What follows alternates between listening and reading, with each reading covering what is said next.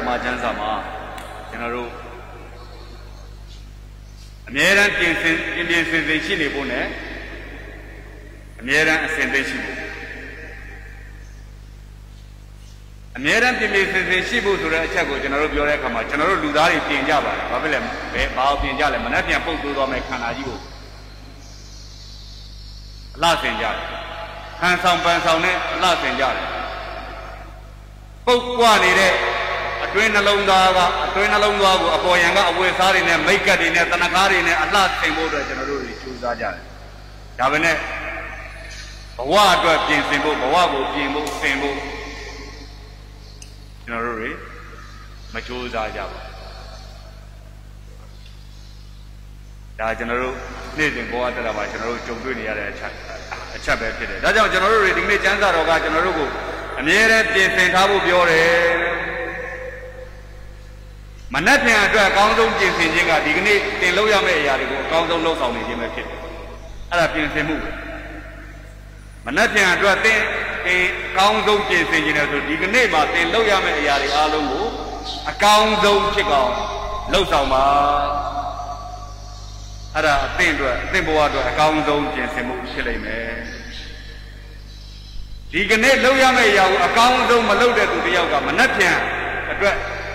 မပြင်ဆင်တဲ့သူဆိုတာကျွန်တော်တို့ကောင်းကောင်းနားလည်ဖို့တော့လိုလိမ့်မယ်ဒါကြောင့်ဒီကနေ့သင်ပြင်ဆင်ထားတဲ့အတိုင်းမနှက်ပြန်မှာတင်ရရှိမှာအဲကြောင့်ဒီကနေ့တင်လုံနေတဲ့အရာကမနှက်ပြန်သိဘဝရဲ့အောင်မြင်မှုပဲတနည်းအားဖြင့်ဒီကနေ့သင်ရှင်တန်နေတဲ့ဘဝတတာမနှက်ပြန်အတွက်သင်ဘဝရဲ့ကယ်တင်ခြင်းပဲဒါကြောင့်မနှက်ပြန်ကယ်တင်ခြင်းရလားမရလား ဒဝေဒဝါနဲ့တွေးမနေနဲ့ဒီကနေ့သင်ပါလုံနေလဲဟုတ်ပြန်ဒီအဲ့ဒါအဖြစ်ဒါကိုဒီကနေ့ကျမ်းစာတော်မြတ်ကကျွန်တော်တို့ကိုရှင်းရှင်းလင်းလင်းပြောပါတယ်ဒါကြောင့်ကျွန်တော်တို့ဒီကနေ့လုံးရမယ့်အရာကိုကျွန်တော်တို့မလုပ်ချင်းရမနှက်ပြန်အတွက်မပြင်ဆင်ခြင်းပဲမနှက်ပြန်အတွက်မပြင်ဆင်ခြင်းကကျွန်တော်တို့ရဲ့ကြာရှုံးခြင်းပါပဲဒါကြောင့်ကျွန်တော်တို့ကြာရှုံးခြင်းရဲ့အထကဒီကနေ့ကျွန်တော်တို့လက်ရှိကျွန်တော်တို့လက်ထဲမှာရှိတဲ့ကျွန်တော်တို့ပိုင်ဆိုင်ထားတဲ့အချိန်လေးကိုကျွန်တော်တို့ကောင်း မွန်စွာမစင်မရှင်တန်ခြင်းနဲ့အဲ့ဒီအချိန်မှာလုပ်ရမယ့်အရာတွေကိုကျွန်တော်တို့ကောင်းမွန်စွာမလုပ်ဆောင်ခြင်းကျွန်တော်တို့ရှင်တန်ရမယ့်အတ္တကိုကောင်းမွန်စွာမရှင်တန်ခြင်းပဲဖြစ်ပါတယ်။အဲကြောင့်ဒီကနေ့ကျွန်တော်တို့လုပ်တဲ့အရာကမလက်ပြန်ကျွန်တော်တို့ဘာဖြစ်မလဲဆိုတာကိုကျွန်တော်တို့အဖြေပေးမယ့်အရာဖြစ်တယ်။ဒါကြောင့်ဒီကနေ့သင်ပြနေတဲ့အတိုင်းမလက်ပြန်သင်ရမှာ။ဒါကြောင့်ဒီကနေ့သင်ရငရဲအတွက်ပြင်နေတော့မလက်ပြန်သင်ရမယ့်အရာငရဲပဲဖြစ်မှာပါ။ ဒီကနေ့သင်ငရဲရမယ့်အရာငရဲရမယ့်အရာပဲသင်လုပ်နေတော့မနှက်ပြန်သင်ရမယ့်အရာကငရဲပဲဖြစ်မှာဒီကနေ့သင်ကောင်းကင်အတွက်ရှင်တန်နေတော့မနှက်ပြန်သင်ရမယ့်အရာကကောင်းကင်ကယ်တင်ခြင်းဖြစ်လိမ့်မယ်ဒီကနေ့သင်လုပ်နေတဲ့အရာကကောင်းကင်အတွက်ကယ်တင်ခြင်းအတွက်ဖြစ်မယ်ဆိုမနှက်ပြန်သင်ရမယ့်အရာတွေလည်းကောင်းကင်ကယ်တင်ခြင်းဖြစ်လိမ့်မယ်ဓမ္မမိတ်ဆွေဒီကနေ့သင်ငရဲ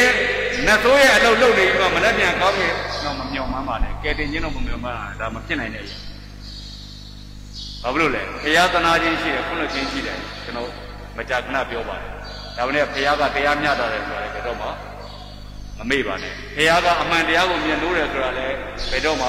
မမေ့ပါနဲ့ဖះကဘု து ပေါ်မှာမျက်နှာမလိုက်ဘူးဆိုတော့လေဘယ်တော့မှမမေ့ပါနဲ့ဖះကဘယ်တော့မှလက်သားတတ်တဲ့ဖះပုဂ္ဂိုလ်ရေးရာကြည့်ပြီးသူပိုင်တယ်ငါပိုင်တယ်ဆိုပြီးတော့ခွင့်ပြုတတ်တဲ့ဖះမဟုတ်ဘူးဆိုတော့လေဘယ်တော့မှကျွန်တော်တို့မမေ့ပါနဲ့ဒါကြောင့်သင်မပြင်းစင်ထားသူတွေသင်ဘဝဘယ်တော့မှ အစင်သင့်မရှိပါဘူးအစင်သင့်မရှိတဲ့သင်ဘဝကမပြင်းစင်ထားတဲ့သင်ဘဝကထာဝရရှုံးနေမယ်ဆိုတော့လေသိချပါတယ်လောကီဆန်ဆန်သင်အောင်မြင်ရင်အောင်မြင်လိမ့်မယ်ဘုရားရှိခိုးထာဝရတော်သင်ရှုံးနေမှာ